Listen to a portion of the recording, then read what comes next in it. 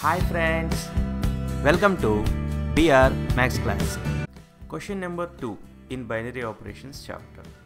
An operation star defined by a star b equals to modulus of a minus b is a binary operation on set of all positive integers? We need to check this. How the operation star is defined?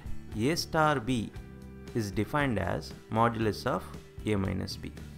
Now we need to check this star is a binary operation on z plus or not.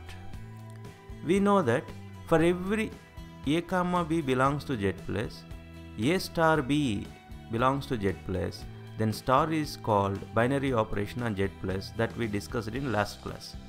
What is z plus? Set of all positive integers.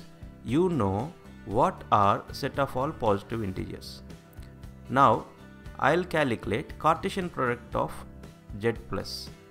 z plus cross z plus is set of all ordered pairs. You already learned this in relations chapter. This is z plus cross z plus.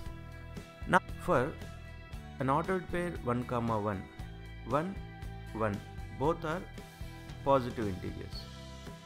Now according to star is defined what is modulus of 1 minus 1 is 0.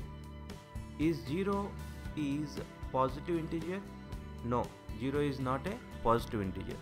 That means 1 star 1 does not belongs to z plus. It means that for every a comma b belongs to z plus, a star b does not belongs to z plus.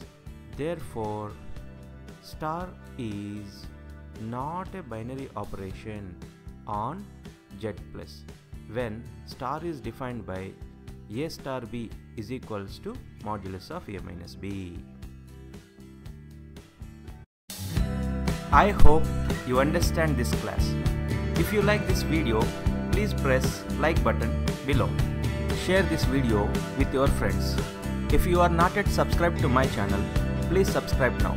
Thanks for watching. Bye bye.